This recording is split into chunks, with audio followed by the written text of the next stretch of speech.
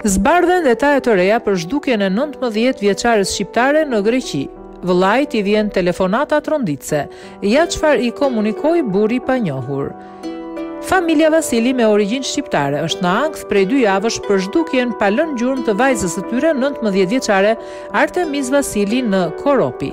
Siç tregojnë familjarët e reja doli nga shtëpia për të dhënë një intervistë pune në një dyqan lodrash, por një gjë e tillë nuk ndodhi.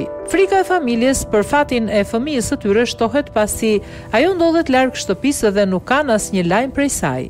Por një telefonatë anonime në celularin e vëllait të saj nga një burrë i panjohur ngriti një tjetër pistë hetimi për vendndodhjen e vajzës. Mesditën e një nëntorit, Aris Vasilis mori telefonatën ku i thonin se Artemis Vasili po mbahej peng nga disa të huaj në një apartament në Monastiraki.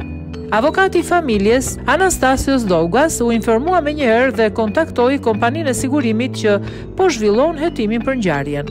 Familja e Artemis Vasilit bëri thirrje përmes një emisioni Që kushdo që e sheh atë të njoftojë menjëherë autoritetet përkatëse. Një shok klase i nëntëmbëdhjetë vjeçares pretendoi se ai e pa atë para se gjurmët e saj të zhdukeshin duke thënë, Unë e pashë atë të hipte në autobus. Ai shpjegoi se pa vajzën që po e prisnin disa persona, dy gra dhe një burrë. Ndërsa shoferi i autobusit që Artemis dyshohet se hipi, shërben në zonat e Koropi, Peania dhe Glykanera, tha ai.